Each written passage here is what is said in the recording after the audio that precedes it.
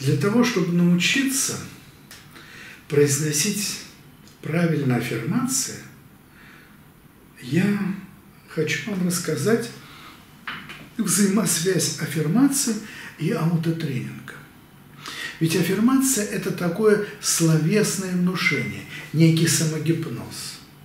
И вспомните, кто приобрел тот ролик про транс и аутотренинг, а, что я про это говорю. Ведь что же родит, роднит аффирмацию с аутотренингом? Вот это постоянное повторение простого, короткого текста есть одно из условий, который вводит человека в измененное состояние сознания, в транс. И когда человек входит в это состояние в транса, как я уже об этом говорил в другом ролике, вот тогда эта информация, которую несет вот этот текст, который мы написали с вами, минует э, фильтры вот не левого критического полушария головного мозга. И он проходит сразу в правое полушарие и воспринимается как руководство к действию.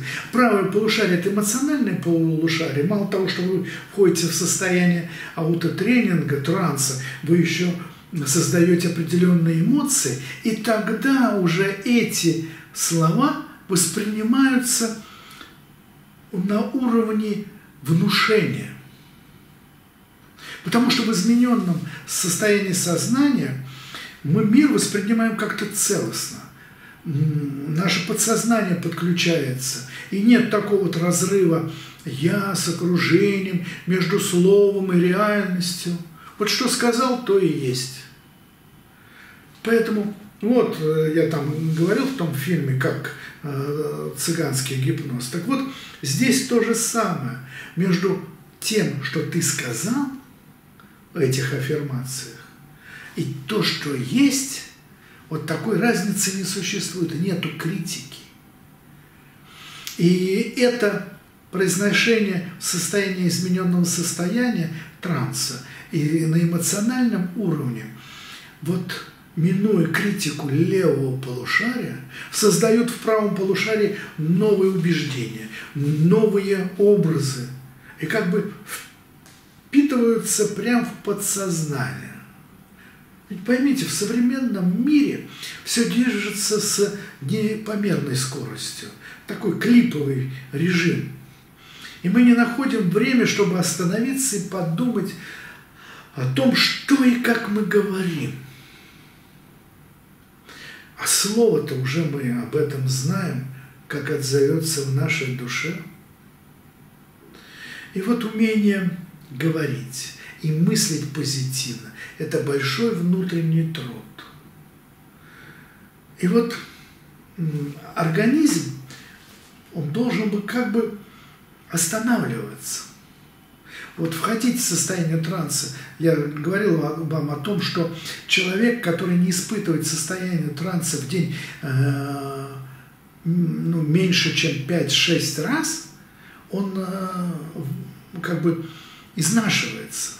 Вот оттуда и э, идут э, депрессии, стрессы, и синдром хронической усталости. И вот это состояние остановки, состояние транса и умение говорить себе. Это не только про аффирмации. Вот сейчас я вам расскажу о том, что часто вы сами, собираясь на работу или утром вставая, занимаетесь самобичеванием. А или говорите близким резкие слова, или детей дергаете. Сколько тебя ждать? Ты вечно опаздываешь, шнурки не завязал, портфель проверил. И ты меня задерживаешь. Вы ни себя не любите, ни окружающих не любите. Вот он, этот клиповый ритм, когда вы ни транс не испытываете, ну, когда вы прям вбиваете в голову себе шипы и гвозди, но вам, может быть, это покажется несерьезным, но обращаясь вот к научным экспериментам, он может вспомнить, вот э, я лично проводил такие эксперименты еще в СССР, э, какие эмоции вызывают слова.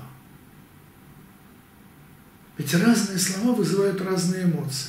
Человек в состоянии эмоционального раздрая совершает не те поступки и неадекватен уже э, в взаимоотношениях и с собой, и с реальностью. Понимаете, когда мы обращены к людям дерзкими, негативными утверждениями, то портится настроение не только у того человека, которого мы задергали, особенно ребенка, но и у вас тоже. Вы испытываете плохие, деструктивные эмоции. Скажите, вы что, себя не любите? Вот стоите и сами себя этими фразами лупцуете. Вы что, думаете, этими фразами достигнете результата, чтобы он шнурки завязал, или она быстрее накрасилась и пошла с вами? У вас машина уже э, на парах. Нет, вы только этим разрушаете. Разрушаете свою психику, разрушаете э, психику визави вашего и закладываете мину замедленного действия в ваши отношения, психологический настрой взаимоотношений с другими людьми. Да посмотрите, в это время у вас начинается сердце чаще биться, руки дрожат, или даже вы потеете. Помните, Пушкин говорил, что слово страшнее пистолета. И вот вы с утра стреляете по всем. Поймите, слово влияет на нас на эмоциональном уровне. Вот это необходимо понять. И когда вы произносите аффирмации, вы создаете определенные нужные эмоции. Ну вот я приведу пример.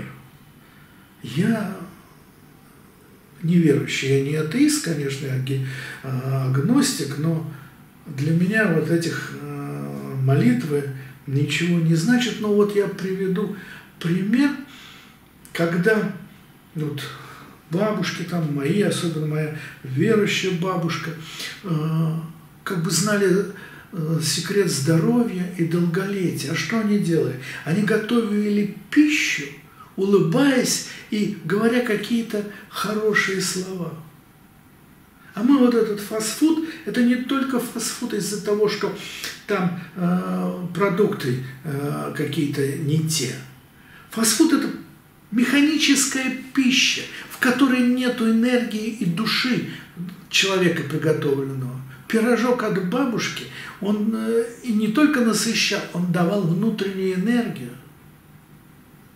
И они вот бабушки тихо произносили какие-то слова или молитвы благодарности всему живому. И тем самым наполняли некой целительной информацией. Вот, например, члены семьи садятся за стол, ну такой есть обряд, у многих для меня он э, далекий, и они благодарят Всевышнего за еду. Они берут руками друг друга. Они произносят и говорят какие-то слова позитивные, аффирмации, которые так важны для качества вашей жизни, для того, чтобы ваша пища лучше усваивалась, та пища, которая, может быть, она и непритязательная – но она здоровая уже тем, что она наполнена и внутренним вашим содержанием, и содержанием тех людей, которые эту пищу приготовили. Одним словом, друзья мои, следите за своей внутренней речью. Я и в одном ролике, и в другом, и в третьем ролике говорю об этом. Давайте-ка займемся экологией нашего внутреннего мира. Вы себя любите? Видите, я мотаю головой. Я задаю вам вопрос. И мне кажется, что ответ для вас затруднительный. Вроде бы и хотели любить. А если любите, давайте заниматься.